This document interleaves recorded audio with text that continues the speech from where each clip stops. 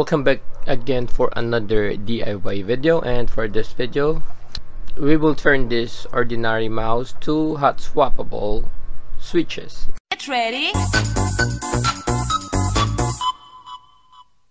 so I'll be using this switch. So, so let's open this mouse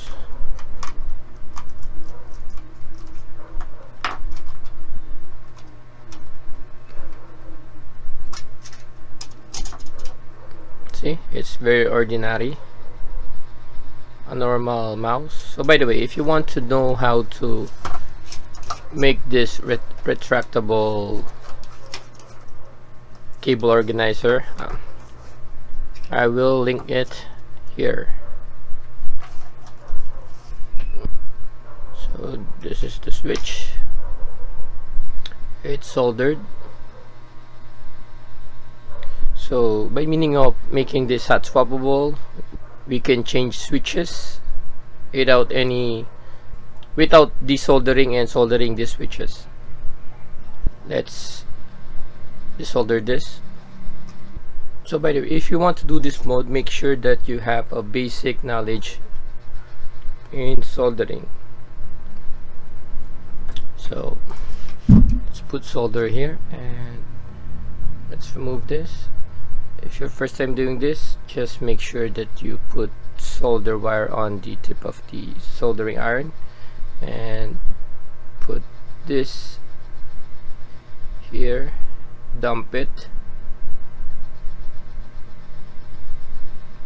Just touch the solder here. So we'll be using this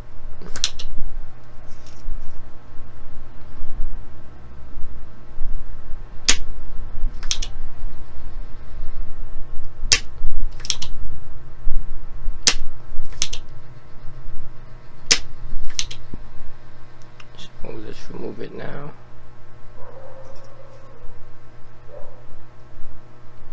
there you go.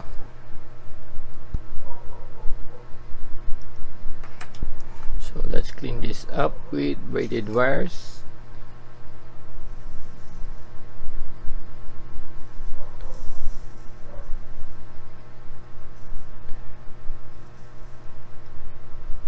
You'll notice there's a solder pads here make sure that the solder pads are intact. Once the solder pads is removed you cannot solder this. Solder pads that is removed is a big no-no. So in order to turn this mouse to hot swappable switches we need this. This uh, Mill-Max 0305 but you can also use Mill-Max 7305 but for this mod I'll be using Mill-Max 0305 why? Because Mill-Max 0305 is long longer than the Mill-Max 7305 as you can see here. Mill-Max 0305 is much easier to work with because the socket is much longer so you don't need to worry about accidentally soldering the holes here. When using Mill-Max 7305 I always soldered I I always accidentally soldered this one the, the holes here. So that's why I'm using Mill-Max 0305 because the socket is much longer. But before you insert the Mill-Max 0305 here as you can see you can't insert it. So we need to drill a hole here until we can insert this Mill-Max socket. So we need this kind of tool. This is a drill bit tool. So we will manually drill it by using our hands. So that we can so that we don't overdo it so it's up to you if you want to use power tool for this but for me I'll like it to do it manually so that I will not overdo it. Let's test it.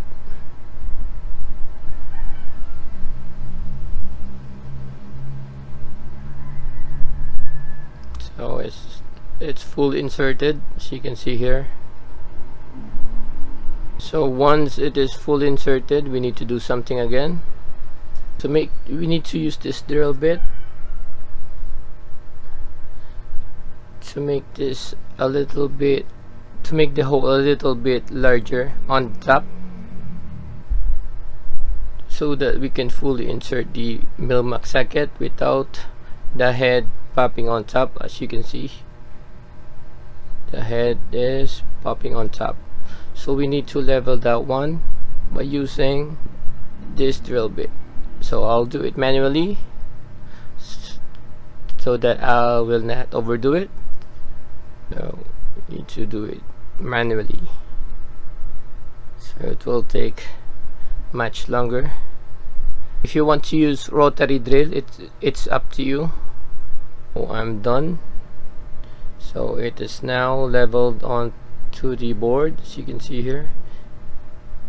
You cannot see the head of the Mill-Max 0305 popping out on here.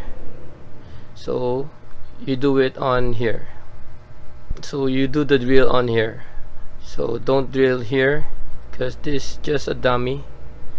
This is just a dummy hole. This is the switch and we will be putting a Mill-Max socket here and here. It's underneath the switch here and here let's install the second Mill-Max socket. It's already leveled onto the board. It's up to you if you want to level it but for me I would level it so that so that there will be longer um, socket here so that we can easily solder this without soldering the holes here. So that's the point so let's put tape here so that our Mill-Max socket will stay in place. I really suggest you cover this part that you'll not be soldering. Because one time I forgot to put tape here then the excess solder went onto the boards here and for some reason it damaged the board. But fortunately I removed the excess solder by using this plastic wire brush. So soldering here soldering paste here and let's put it on here. There you go.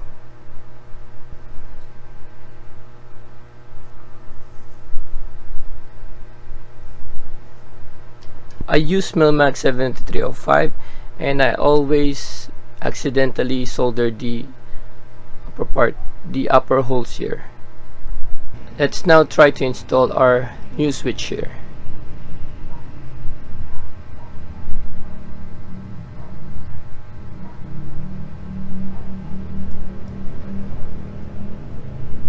you go. New switch are now installed. So what we did here just do it on here.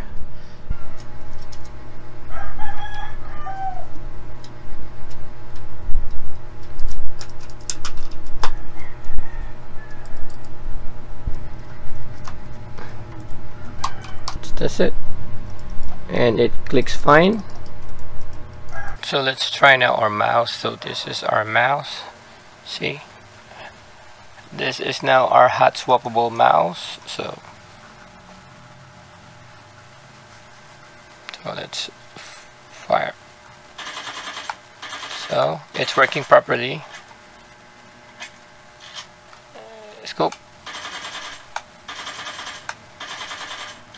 see? See? Can use it okay.